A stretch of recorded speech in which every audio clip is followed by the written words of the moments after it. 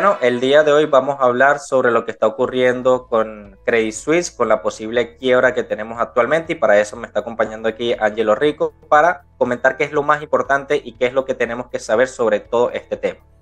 Eh, Carlos, sí, eh, pareciera, eh, porque los credit default swaps o los CDS que se cotizan sobre los bonos emitidos por Credit Suisse parecieran estar cotizando una altísima probabilidad de impago, lo que para un banco eh, sería una bancarrota. Pero antes que nada, Carlos, eh, muchas gracias por, la invitación, muchas gracias por estar aquí. Y, bueno, eh, saludos a todos nuestros seguidores.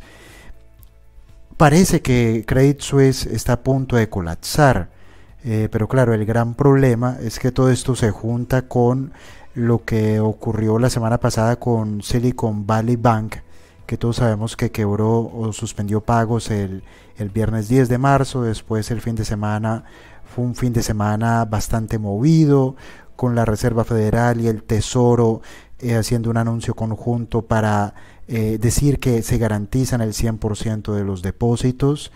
Con esto se evitó eh, un ataque de retiro de depósitos masivo en bancos regionales americanos pero ahora estamos a miércoles al momento de grabar este video y ocurre lo de Credit Suisse. Pero, y yo creo que tú estás muy al tanto de esto y tal vez muchos de nuestros seguidores. Credit Suisse es un banco que, viene con problemas hace más de una década. De hecho, ellos, eh, sus acciones vieron o cotizaron máximos históricos a principios de eh, el año 2007, casi 82 francos por acción. Esas acciones cayeron hasta 20 francos, si la memoria no me falla, hasta 20 francos por acción cuando quebró Lehman Brothers. Y después, a partir de marzo del año 2009, se recuperaron igual que la mayoría de acciones financieras. Sin embargo, a partir del año más o menos 2012, si la memoria no me falla, estas acciones fueron de 20 a 50 francos y a partir del año 2012-2013 no han hecho sino caer hasta los mínimos cotizados hoy, eh, cuando estamos hablando para hacer este video, es el 15 de marzo del año 2023. Los mínimos cotizados hoy fueron de un franco con 55 centavos. Entonces estamos hablando de una compañía que a lo largo de más de una década ha caído en términos de precio y de capitalización bursátil más del 97%. Esto no ha ocurrido con ningún otro banco eh, global, excepto con los principales bancos alemanes. Por ejemplo, los principales bancos americanos eh, se recuperaron de manera espectacular. Eh, JP Morgan, Morgan Stanley, Bank of America, Wells Fargo los bancos alemanes prácticamente nunca se recuperaron, como fue el Deutsche Bank y el Commerzbank, si la memoria no me falla. Los demás bancos europeos sí tuvieran cierta recuperación y en el caso de Credit Suisse sí nunca se recuperaron. Y nunca se recuperaron porque a lo largo de toda una década han cometido muchísimos errores, han tenido una mala gestión de los riesgos, han sufrido pérdidas en sus inversiones de posición propia y han tenido contingencias gravísimas por pérdidas de clientes, y que creo que tú la comentabas al principio, que fue la quiebra de Archegos Capital en el año 2021, solamente eso fueron 5 mil millones. El último eh, informe financiero trimestral que se conoce, en ese último informe ellos presentaron muchísimas pérdidas, y de hecho lo alcanzaron a retrasar, algo que es muy insólito en una institución financiera, retrasar la presentación de estados financieros, porque eso hace levantar las sospechas y hace saltar todas las alarmas. Bueno, creo que con el tema de Credit Suisse no nos cabe ningún tipo de duda de que hay inversores que están muy preocupados, sobre todo por su última presentación de resultados, donde hubo una caída del 20% de los activos gestionados por ellos. ¿Qué podemos comentar sobre este tema? El tema con, Credit Suisse es que ellos eh, han tenido muchas contingencias y estas contingencias financieras, pérdidas no solamente por eh, malas inversiones, sino por eh, multas que le han impuesto, por ejemplo, en los Estados Unidos, por no cumplir eh,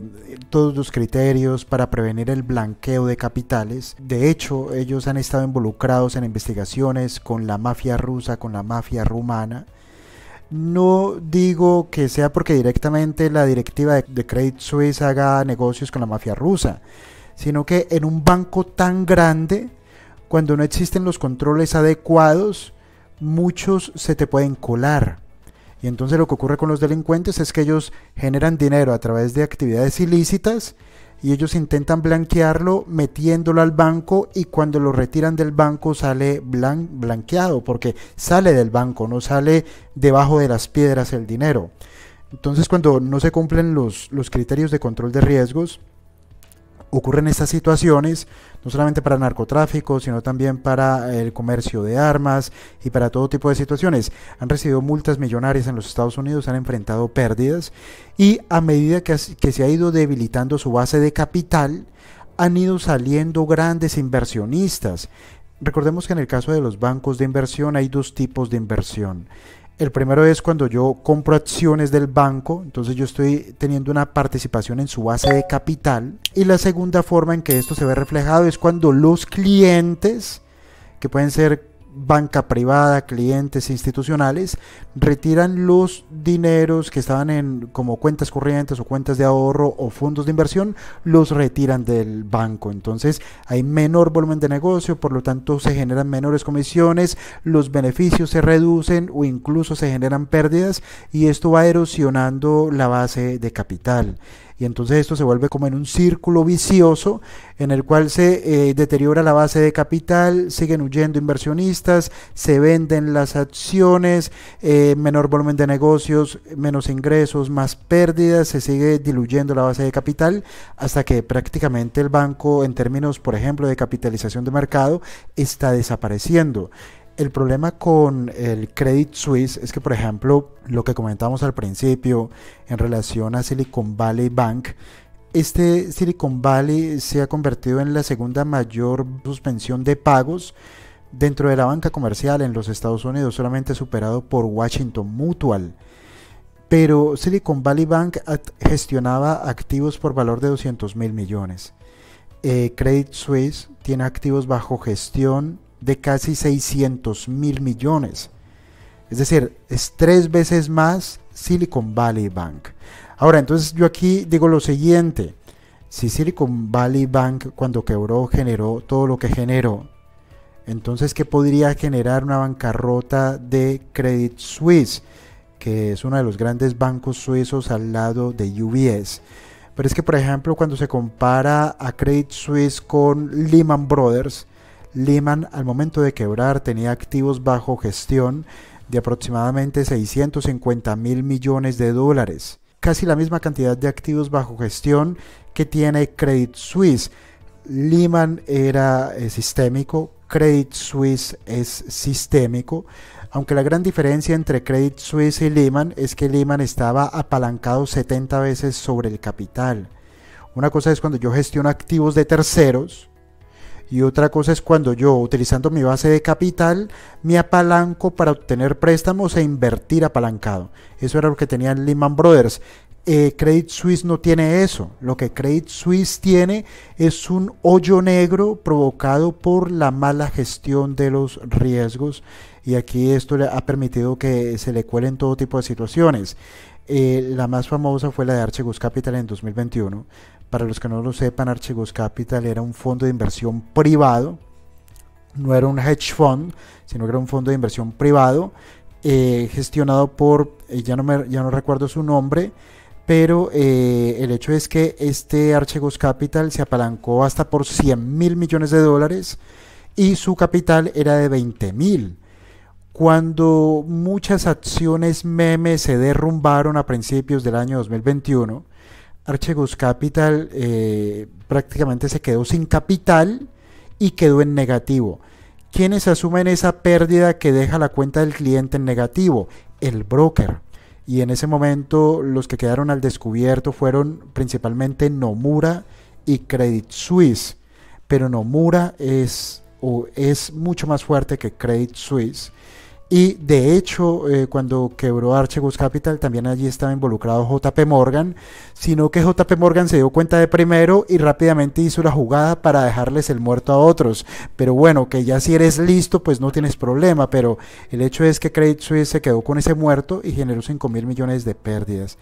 Esto al final, todo esto junto genera una pérdida de confianza, pérdida de confianza en la gestión, en la administración y en el control de los riesgos y al final todo esto hace que muchos de los mayores inversionistas hayan ido, hayan salido en desbandada hace rato de, de, este banco. Estimados, debido a todo lo que está ocurriendo con distintos bancos alrededor del mundo, hemos decidido realizar una masterclass para explicar cómo analizar bancos todo este torbellino de cosas que están ocurriendo alrededor del sistema financiero global probablemente nos lleguen a dejar oportunidades. Pero para poder identificar estas oportunidades tenemos que aprender a analizar bancos, analizar instituciones financieras y entender por supuesto lo que ahora mismo está ocurriendo. Por esto vamos a realizar este domingo que sigue la masterclass de análisis de bancos o de instituciones financieras. Si deseas participar es gratis, pero las plazas son limitadas. Encontrarás un link para inscribirte justo aquí debajo. Y si no puedes estar en la sesión en vivo, será grabada, pero solamente te podrá ser enviada si te inscribes porque tendremos un correo electrónico para enviártelo. Nos vemos este domingo, será muy pero muy interesante y además intensivo en conocimiento. Nos vemos el domingo. Yo creo que principalmente esto es lo que están descontando los inversores. Si nos damos cuenta, el Bank, que son los principales, es un índice que cuenta con los principales bancos en Europa, están actualmente en caída, casi todos los bancos. Y esto ya creo que la gripe es muy clara que sí se pegó. Eh, recordemos que está la teoría de la conexión entre los mercados. Y, y, creo que ya no cabe duda de que, de que eh, un evento de quiebra de Credit Suisse va a ser mucho peor por tamaño de lo que fue Silicon Valley Bank. Mucha gente no quiere tocar el sector bancario ni con un palo, pero yo creo que el secreto aquí está, que es a lo que nos dedicamos, a conseguir esas, esas buenas inversiones, esas pepitas de oro, como tú dices, de estos bancos, ¿vale? Porque no todos los bancos van a quebrar. O sea, si sobrevivieron a Lehman Brothers y sobrevivieron a la Gran Depresión, no, no creo que no se pueda conseguir alguna oportunidad. Entonces, yendo por ese sentido, ¿crees que el mercado está sobre reaccionando con algunos bancos en específico o crees que todo esto está perfectamente justificado? No, mira, esa pregunta es muy interesante y es muy inteligente por lo siguiente. Cuando ocurren este tipo de situaciones, en realidad todo cae. Por eso es que uno eh, no se debe pelear con el mercado, todo cae. Es decir, en un momento de estrés, todo cae, lo bueno y lo malo. Ahora, ¿Cuál es la clave para nosotros los inversionistas? Que seamos capaces de identificar lo bueno, porque allí es donde lograremos identificar divergencias o podremos identificar un margen de seguridad adecuado para aquellos activos de calidad en los que nos interesa invertir. En el año 2008 muchos bancos quebraron, pero eran bancos que estaban llenos de activos tóxicos incluyendo por supuesto a Lehman Brothers. El gran error en aquel momento era clasificar a todos los bancos por igual. En aquel momento, sino que decirlo en retrospectiva parece fácil o es, es más fácil, pero en aquel momento sí que el equipo con el que yo trabajaba tuvo la virtud de invertir en bancos que no tenían activos tóxicos en el balance pero que cayeron igual que el resto del sistema bancario.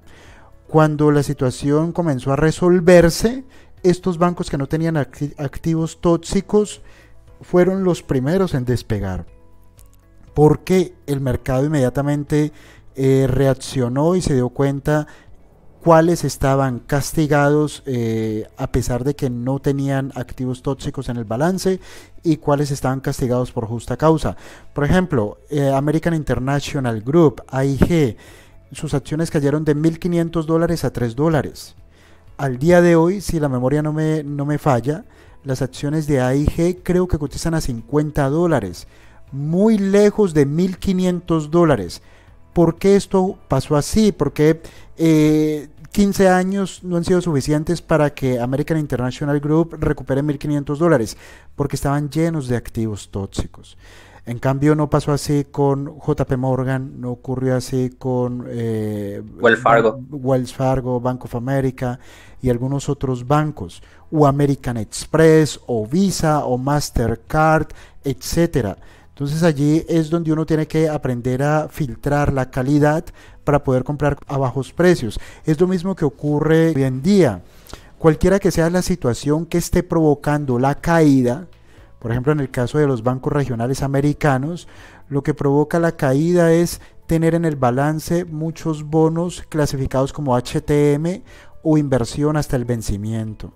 Porque lo que se encuentra es que si estos bancos tienen que liquidar parte de su cartera para enfrentar fuga de depósitos, tendrán que asumir pérdidas catastróficas porque estas no habrían sido contabilizadas de manera gradual, sino nunca han sido contabilizadas, entonces el choque sería brutal. Este tema ya se solucionó el lunes con la Reserva Federal, pero es solamente un tema. Si nosotros nos damos cuenta o entendemos cuáles son las razones para una hipotética caída de Credit Suisse, nosotros no podríamos invertir en otros bancos europeos que tengan una situación similar sino que tendríamos que encontrar aquellos bancos que tengan una fortaleza financiera. ¿Por qué? Porque cuando cae uno, esto barre con los débiles y los que quedan, que son los fuertes, se quedan con el mercado, que es lo que está ocurriendo con JP Morgan ahora mismo en los Estados Unidos, que se está quedando con una gran cuota del mercado porque su propia fortaleza le permite beneficiarse de una situación que es negativa. Ahora, por ejemplo, en el caso de Credit Suisse, ¿cuál es la posibilidad de un impago o de una bancarrota? Los CDS, que son los Credit Default Swaps, que son seguros de impago eh, para emisiones de crédito, en este momento cotizan un 47% de posibilidades de un fallo o de un accidente en Credit Suisse. Para ponerlo en contexto, los CDS de Credit Suisse cotizan 20 veces los CDS de UBS que es el otro gran banco suizo. Entonces allí, cuando observamos estos niveles de estrés en los CDS, lo que nos está diciendo el mercado es que está asignando una gran probabilidad de quiebra o de bancarrota y por eso suben las primas sobre estos seguros de impago. Lo que suben son las primas y esto lo que significa es un aumento muy importante en las expectativas o en la percepción de riesgo sobre determinados activos. Yo creo que en Credit Suisse es bastante probable que, que ocurra un accidente. Lo único es que como lleva tanto tiempo cayendo, como esta noticia se lleva tanto tiempo anticipando, creo que ya hasta las ratas hace rato saltaron del barco. BlackRock hace rato deshizo su inversión en Credit Suisse. El Banco Nacional de Arabia Saudita dijo que ya no iba a invertir dinero con ellos o a través de ellos. Y creo que todo este tiempo que ha pasado eh, ha permitido a las contrapartes poner cortafuegos legales o financieros para reducir a su mínima expresión la exposición a Credit Suisse. La gran ventaja es que está en Suiza y el Banco Central de Suiza es uno de los bancos centrales más competentes del mundo, incluso más competente que la Reserva Federal de los Estados Unidos. Solamente por decirte algo, cuando ocurrió la crisis ocasionada por el COVID en 2020, eh, el Banco Central de Suiza emitió casi 300 mil millones de francos suizos. Y esa emisión de dinero no la realizaron para comprar deuda suiza, porque ellos no emiten deuda. Esa emisión de dinero la realizaron para comprar acciones a escala global. Es decir, ellos emitieron francos suizos, como el franco suizo tiene una percepción de seguridad tan alta, genera una confianza tan elevada, esa emisión no generó la devaluación del franco y al contrario, pudieron utilizar esta gran cantidad de dinero para armar un fondo soberano y garantizar las pensiones suizas. Compraron acciones de la máxima calidad en marzo del año 2020 con dinero recién impreso pero no para comprar deuda o para financiar déficits públicos. Emitieron dinero para invertir. Ningún otro banco central del mundo ha hecho eso, eso lo hicieron los suizos. Es un banco muy competente. Ese es como el tema que aminoraría un estrés financiero provocado por un colapso de Credit Suisse. Entonces, bueno, yo creo que el tema de que Suiza es perfectamente un banco central bastante competente, creo que es es lo que ha mantenido hasta ahora su sistema como tal, su sistema bancario, y lo ha hecho un lugar muy atractivo para invertir. Realmente es así. Yo creo que es lo que más suaviza el golpe que se están metiendo actualmente. Pero todavía sigue dando mucha incertidumbre. Em, algo que se me viene a la mente cuando yo veo estos casos es que muchas personas decían que los tipos de interés, que la subida de los tipos de interés iba a ayudar a los bancos porque iban a cobrar más dinero por los préstamos. Y ahora estamos viendo que no es así. Entonces nos damos cuenta una vez más que la voz popular no es realmente el análisis que tienes que, correcto que tienes que tener el mercado. Y yo, para mí esto es una lección muy importante y yo me quedaría mucho con esto. Em, ¿Qué es lo que hay que mirar actualmente? Yo voy a dar mi recomendación y luego te voy a dejar a ti, Angelo, para que nos comente. Eh, yo miraría mucho los exchanges cotizados en bolsa, como por ejemplo Interactive Broker o la propia ICE, International Continental Exchange, que son las dueñas del Nasdaq y de muchas bolsas a nivel mundial, porque el volumen de trading se ve que va a estar fuerte. Entonces, esa sería la forma en la que iniciaría mi tesis. Así que bueno, Angelo, para despedirnos, ¿qué nos puedes comentar al respecto? No, yo solamente remataría diciendo lo siguiente, cuando analicen bancos, siempre piensen que hay dos patas. Los bancos tienen dos negocios. El negocio es de captación y colocación. Captación son depósitos, colocación son préstamos. Y el otro negocio es el negocio de las inversiones. Cuando las economías entran en recesión, los bancos lo que hacen es reducir su negocio de colocación, es decir, reducen los préstamos porque entienden que el desempleo va a aumentar y por lo tanto los impagos también van a aumentar. Reducen los préstamos y aumentan la inversión y se benefician de una recuperación de la bolsa. Pero el hecho es que cuando ocurren situaciones de estrés en los mercados, el negocio de inversión se ve perjudicado. Y es allí donde uno tiene que entender el negocio de inversión de determinados bancos en qué, cómo está estructurado, en qué está invertido, qué es lo que tiene no solamente debemos pensar en el negocio de captación y colocación, porque allí es donde nos quedamos con el juego de que si suben los tipos de interés, entonces aumenta, aumenta el margen de intermediación cuando si suben los tipos de interés, lo que también están aumentando son las tasas de descuento para valorar a precios de mercado las inversiones de esos bancos. Y si estas tasas de descuento suben demasiado, las valoraciones a precios de mercado de estas inversiones pueden generar graves pérdidas que incluso pueden llevar al colapso de como lo que ocurrió con Silicon Valley Bank. Siempre tengamos en cuenta estas dos variables cuando analicemos bancos o grandes instituciones financieras. Excelente, excelente. Entonces ahí ya lo tienen, dos recomendaciones muy buenas de lo que está pasando actualmente, donde tenemos que enfocarnos y también una perspectiva muy completa de qué pasó con Credit Suisse. Este tema todavía estará en desarrollo y creo que lo estaremos comentando en caso de que exista alguna otra noticia relevante que pueda sacudir los mercados. Yo por mi parte entonces me despido. Yo soy Carlos Mesa junto con Angelo Rico y nos veremos en un siguiente video. Hasta pronto. Muchas gracias Carlos, gracias por la oportunidad. No olviden suscribirse. Hasta pronto.